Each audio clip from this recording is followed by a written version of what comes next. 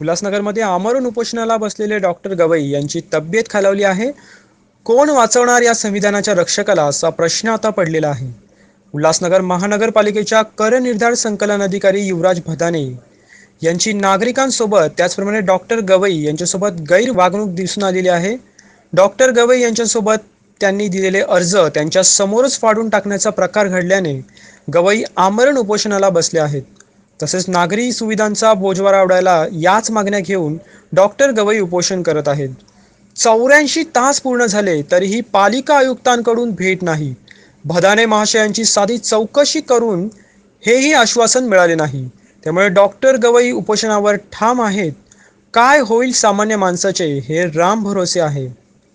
विशाल वाघमारेसह संतोष दिवाडकर आवाज नाही उल्हासनगर.